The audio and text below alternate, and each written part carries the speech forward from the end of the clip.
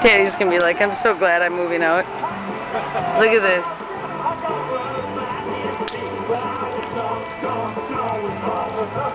this.